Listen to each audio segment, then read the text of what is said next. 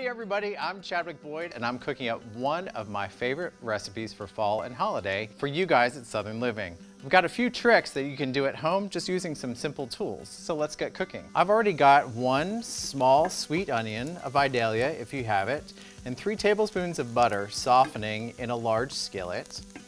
And then I've taken one medium to large zucchini and yellow squash, and you want to cut it maybe about a little bit less than a quarter inch thick.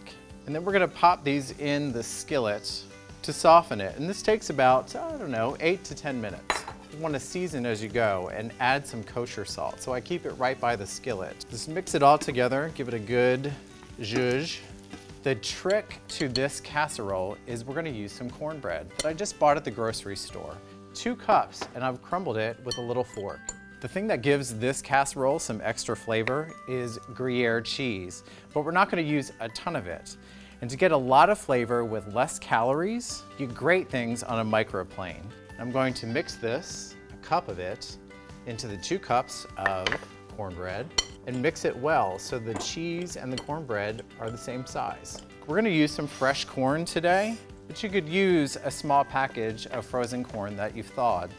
I've got a Bundt pan that's gonna catch all of our fresh corn. Just take your chef's knife and just cut it along the cob. And see how easy the Bundt pan catches that?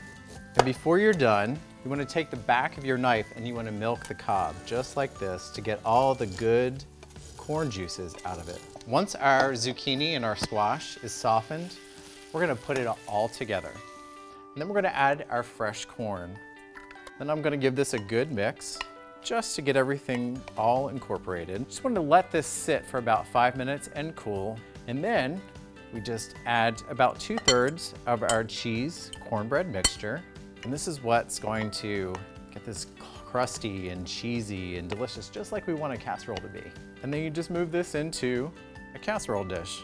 And then the little bit of the cornbread cheese to form the crust on top. Finish with a sprinkle of kosher salt and a few twists of black pepper, and then a tablespoon of melted butter.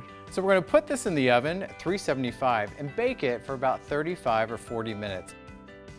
This casserole has just come out of the oven. Look how golden and bubbly this thing is. And this is ready to be plated up right now. The cornbread and the sweet corn together are gonna make this casserole extra special for your holiday or your family get together. I promise you, it's gonna be the next new hit. Enjoy, you guys.